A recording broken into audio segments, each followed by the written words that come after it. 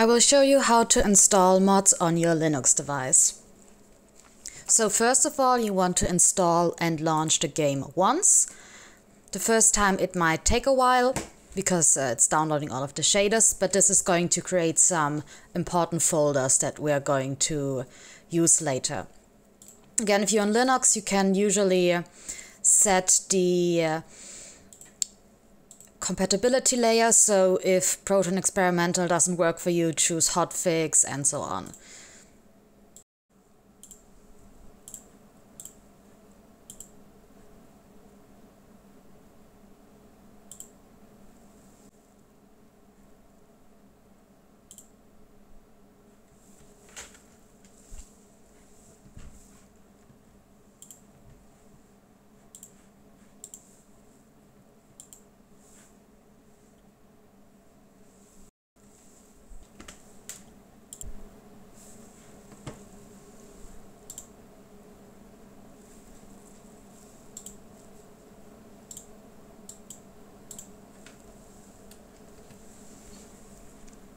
Okay, everything should be initialized now and we can quit the game.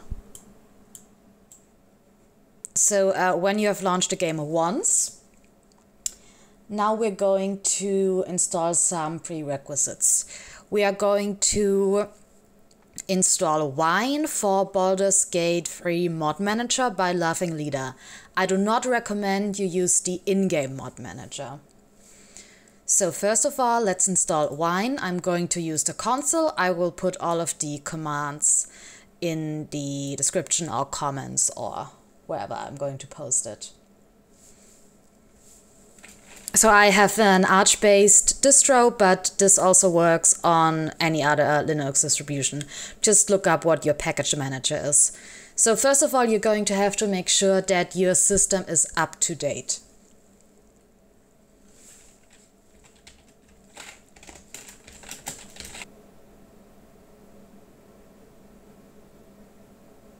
So you can check that it is successfully installed by typing wine version and you should see an output.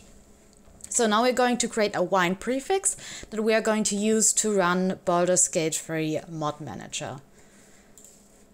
So let's just create one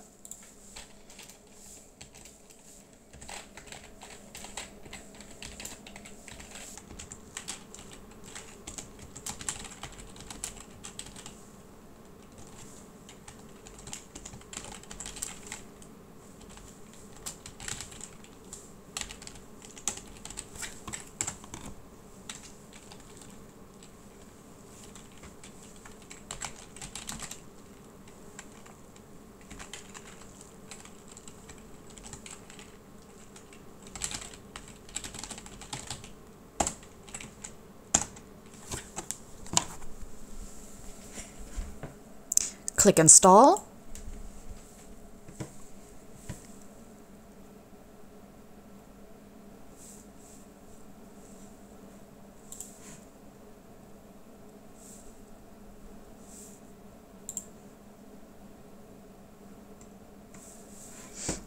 And now we're going to configure it, so Windows version 10, that's alright, and that is already all that we need.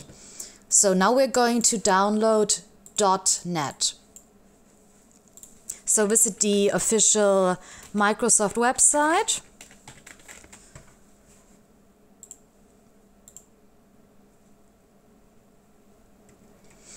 We need .NET 8.0 and we want the Windows version, not the Linux version, the Windows version.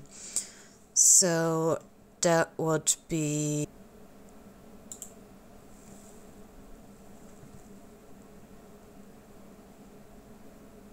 Okay, and this should be in your download folder now. You can either navigate to your download folder from your console here or open a console directly in your folder. And now you want to execute this executable with your wine prefix that you have just created.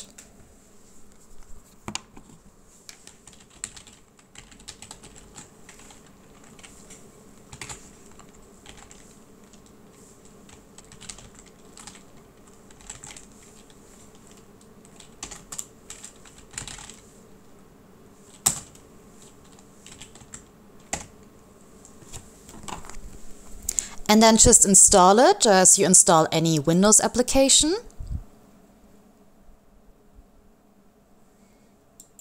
and it's now installed in this wine prefix. So with this wine prefix, we can now execute tools that require .NET 8.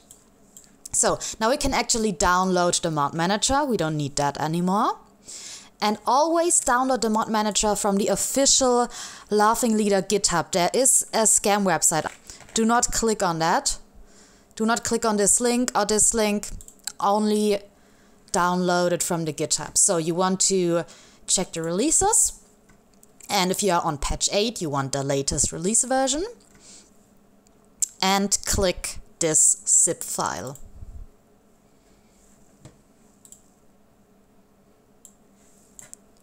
You can extract it and you can put that anywhere you like. So I'm going to just put it into my documents. Okay, and this file here is the one we want to execute. So again,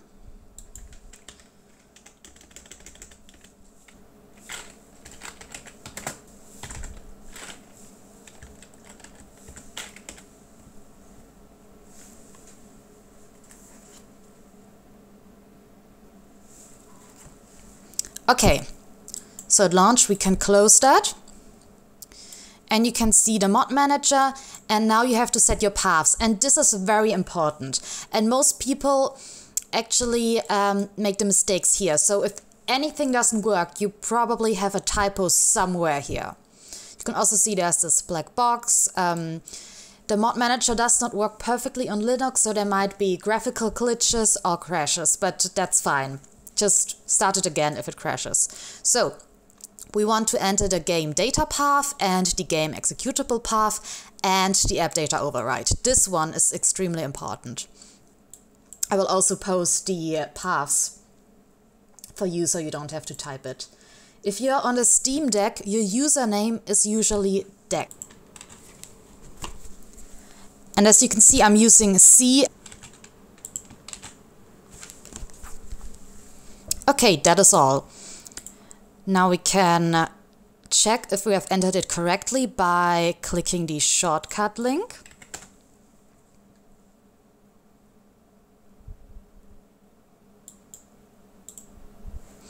And now we check if this mods folder is correct. So we can see Larian Studios, Baldur's Gate 3, mods. So that looks correct. Okay. Now I'm going to install one mod. I'm going to choose a hair mod that we can easily uh, see.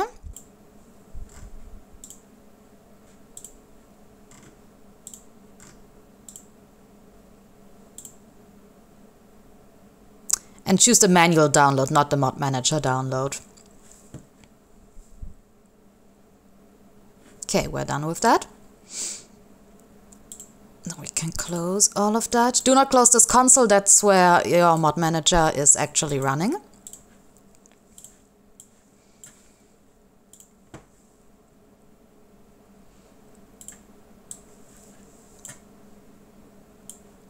You do not have to unzip this file, you can just drag it in here.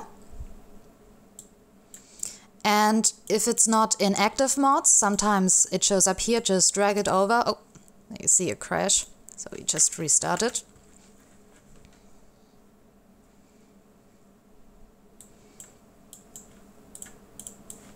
So sometimes it shows up in inactive, so just drag it over to active. And then it's very important that you export. Seems like doesn't want to export right now, so let me just restart it again. You see it's a bit fiddly, but um, it's definitely the best mod manager for Baldur's Gate. Okay, it doesn't want to export the mod, so we can also just manually add it to our mod folder. So you just have to navigate to the Larian mods folder and I recommend you put it in your start or bookmarks or whatever it is called in your file browser. So you might have to um, enable hidden files if you want to navigate there. by um, your file manager, else you can just type it into your console.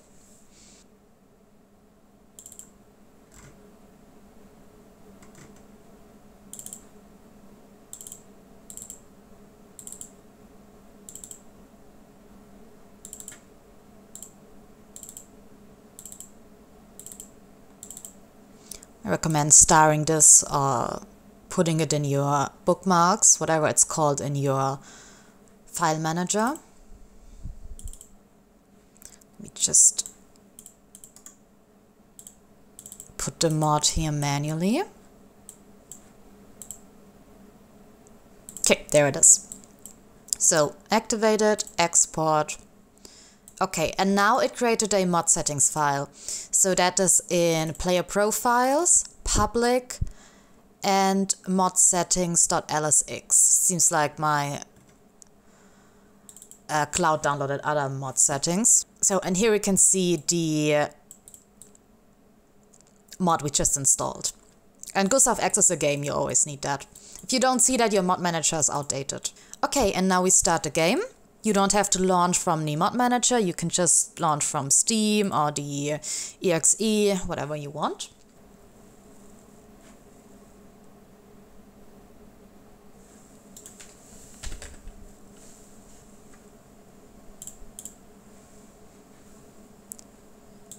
So and these hairs are available for all races and all body types. So we can check with this default elf here. And there they are. So we have successfully installed .pak mods. Now we'll show you how to install Script Extender.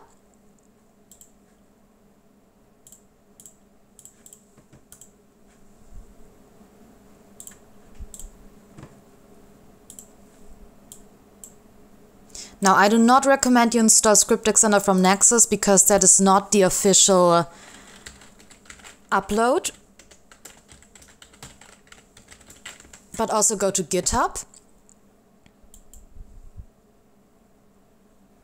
Script Extender Launcher. And this is from uh, April 2024, but it updates itself. So this will be up to date. So just unzip it.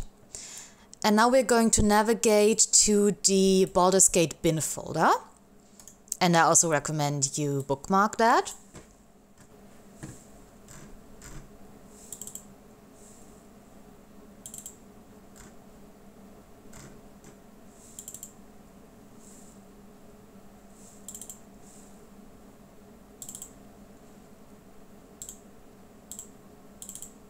Okay, just go into the bin file and then drag the dwrite file here.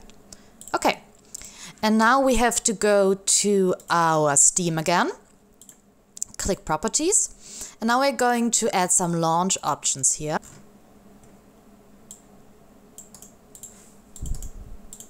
And I'm also going to skip the launcher.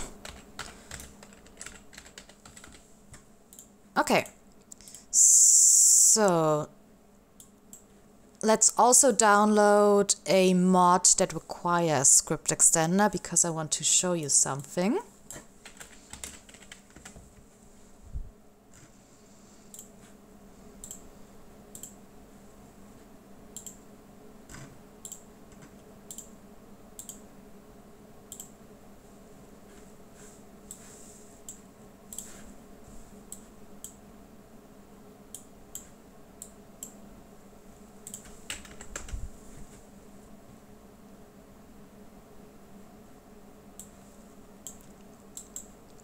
So here you can see this uh, arrow symbol. It, it's black right now, but it would say that Script Extender is not installed. On Linux, Baldur's Gate Mod Manager cannot find your Script Extender install. So just ignore that. I'm going to show you how to actually tell if Script Extender is installed. So now we just launch the game.